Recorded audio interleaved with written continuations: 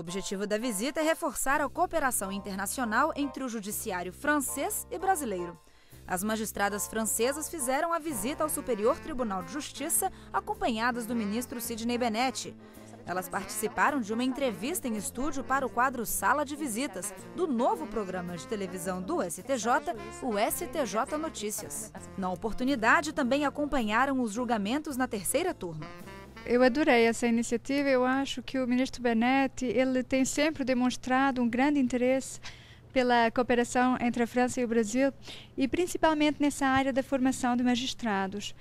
E, na verdade, a França e o Brasil realmente têm desenvolvido uma cooperação muito forte, assinatura de convênios nessa área. E então, hoje, nós temos aqui em, em Brasília, no STJ, duas juízas estagiárias francesas que estão na Escola da Magistratura e que podem, graças a, a, ao ministro Sidney Bennett, também conhecer o funcionamento da justiça brasileira.